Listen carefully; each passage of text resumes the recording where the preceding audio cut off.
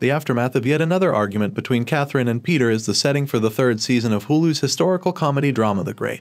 Although he has done something reprehensible, Catherine is prevented from killing Peter by her love for him. They both concur that some issues in their marriage need to be resolved if they don't want to get trapped in a never-ending cycle of loving and wanting to murder each other. As Catherine attempts to transform Russia into the nation she has always wished it would be, things begin to heat up under her rule, but not in the way she had anticipated. By the end of the season, Catherine has through a turbulent arc that challenges her politically and personally and causes her to question whether she was ever qualified to reign. Here are the final events and their implications for Catherine the Great's rule. Spoilers ahead. The Great Season 3 plot synopsis. Although Catherine didn't kill Peter, she did stab the man who looked like him, which undermines their marriage trust. Peter controls his violent desires as they make an effort to start again and makes an effort to be the husband Catherine wants him to be. Peter, meanwhile, feels ignored and useless as she becomes increasingly preoccupied with legal problems. He is eager for Peter to become an ordained minister, but Catherine prevents this, leaving Peter wondering if he is a good parent. Hugo and Agnes, meantime, create commotion to persuade Peter to attack Sweden so they might retake their nation. Catherine tries to create new laws in the meantime,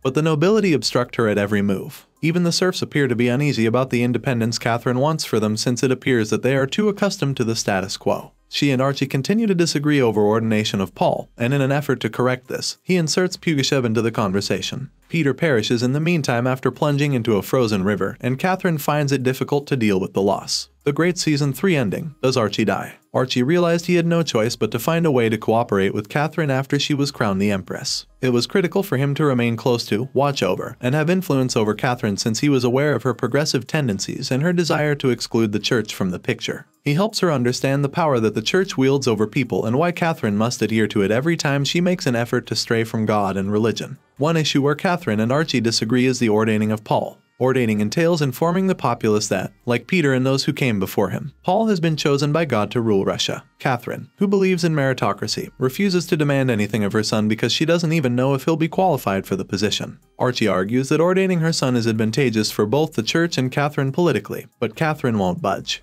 When everything else fails, Archie conjures up a situation that compels Catherine to realize her folly. He dispatches Pugachev around the nation to stir up opposition to the Empress by posing as Peter III. Pugachev turns out to be quite good at his profession, so he fuels the fire. However, when violence breaks out all throughout the nation, things spiral out of control, and the innocent hoax develops into a rebellion. Archie keeps trying to convince Catherine to work with Pugachev in order to ordain Paul as part of the arrangement.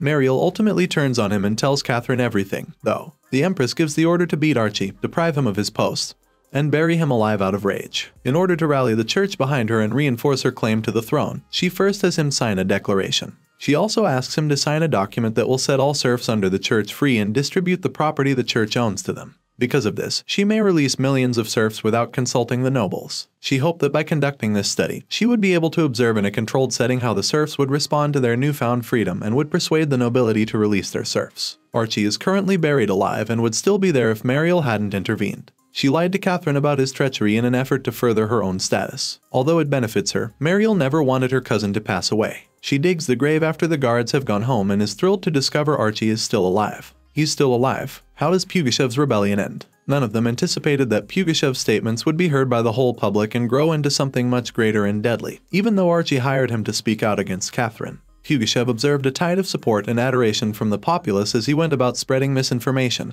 and hatred towards Catherine. He understood that his words had influence, and that by pretending to be Peter III, he might actually mobilize the populace and advance on the palace. The common impersonator had a chance to ascend to the position of Russian emperor. They would not have been able to seize the throne if it had been someone else. However, Pugachev could get away with it because of how much he resembled Peter. In the climactic episode, he is discovered, and rather than having him executed, Catherine chooses to have him go across the country where he will retract his statements and admit that he is actually a double for Peter. Archie kills Pugachev before the plot can be carried out, leaving Catherine with a much more serious issue. It was previously acknowledged that executing Pugachev without first consulting the populace might make him into a martyr. While he was still alive, the insurrection was focused and manageable. Without him, the insurrection would split off, which would be considerably harder. Other nobles would attempt to fill the power gap left by Pugachev's absence, calling Catherine's legitimacy into question and making things even more problematic for her. When Pugachev dies, Catherine realizes she was unable to stop the rumors after trying to stop them by getting him to confess the truth. She thus encircles them. She orders Maxim to propagate the rumor that he killed Pugachev with his hands by going out into the community. She dispatches Velementov to a distant region of the nation to share the true account of Peter's demise. To disseminate a contrary rumor and put down the uprising with the force of a thousand cannonballs, she dispatches Petrov to Moscow, where Pugachev's supporters had assembled in large numbers. She also spreads other rumors regarding the many methods that Peter passed away. She may be the daughter of Peter the Great, according to one of those rumors. A single rumor might turn out to be true, but a thousand different versions would only result in stories and gossip. By doing this, Catherine would maintain sovereignty over the story and be free to utilize it whatever she pleased later. Catherine intended to put an end to a rebellion like this once and for all in addition to getting Pugachev and Peter out of the way. She came up with a new strategy since she didn't want to deal with the same legitimacy issue again. Knowing the power the church wields over society, she has Archie sign a proclamation requesting that people look for signs that Catherine has been given the title of Empress by the grace of God. Her royal astronomer had previously informed her that an upcoming comet will pass past the Earth, and be visible to the naked eye. Knowing that such events were often interpreted as omens, he sought to enlighten people with facts from science. He desired that people learn about astronomy. In a perfect world, Catherine would have happily complied. But she has a nation to rule, so she does it for herself. The most effective strategy to persuade the general populace that the comet's rule is God's desire is to claim that a sign from the skies is going to appear since they are unaware of the comet. Once that's shown, nobody will contest her validity. Why does Catherine cut her hair? What does her dance mean? After tidying up the immediate shambles in her rule, Catherine emerges from her emotional fog. She appears in the final scene clothed entirely in black. She is dancing her heart out as the comet passes and the crowd applauds for her because she recently cut her hair. What does this represent? Catherine had always felt she was meant to rule Russia. She believes that being the empress is her destiny and that everything in her life has led up to this point. She may be well intentioned, but she is young and naive. When the coup is successful and she is finally in control of Russia, she finds that the job is more difficult than she had anticipated. Obtaining the throne is one thing. Persuading the populace to accept the new way of doing things is quite another. In the third season, things spiral out of control, especially following Peter's passing, and Catherine begins to doubt her prediction of fate. If she was never intended to be Russia's ruler, she has brought about instability by imposing her reign on the nation. When the issue of ordaining Paul is raised, Catherine makes the case that a ruler should be chosen through a meritocracy rather than by God. She is compelled to question whether she was ever worthy to hold the throne as her own rule crumbles in front of her. Orlo begins to doubt her as well since despite having all the power at her disposal, she is unable to complete any of the tasks she had in mind. She is charged with being sidetracked, becoming lost in her fantasy, and failing to do what is required of her. He questions whether he made the wrong choice and whether Catherine was just as bad a ruler as Peter. Catherine is left to doubt this even more after Peter's passing, leaving everything to chance. She begins to play Russian roulette in the hope that she will pass away if she is supposed to. If not, she will live every time she picks up a pistol and shoots herself. She always manages to survive, as luck would have it. When she picks up the loaded gun for the first time, a man storms in and attempts to shoot her. She shoots the intruder with the gun instead of shooting herself. She is startled awake by this surprise and begins to doubt whether she has truly been chosen by God.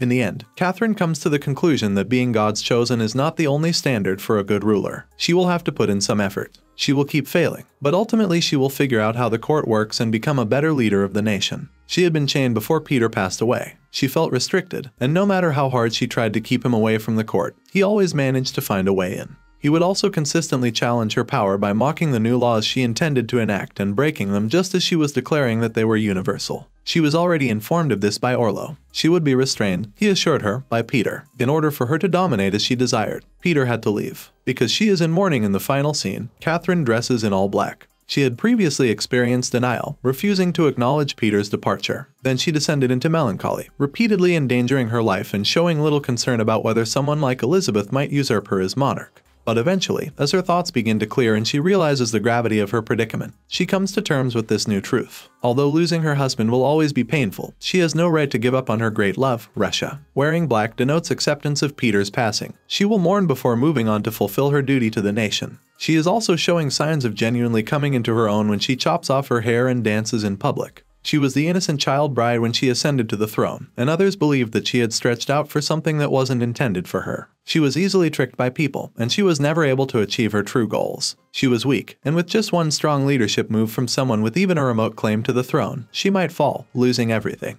At the start of season 3, Catherine admitted she lacked organizational skills and desired instruction in the legal and political systems. She had never considered the aspect of her employment where the ends justified the methods. Because she thought there was kindness in everyone, she imagined she could change them. But at the end, she realizes that if she wants to defend her country, she would have to be ruthless, calculating, cunning, and even lying. She needs people to fear and obey her rather than to love her. She is prepared to lead the nation forward because she has acknowledged that aspect of herself. Thanks for watching. If you like this video, make sure to like and subscribe for more.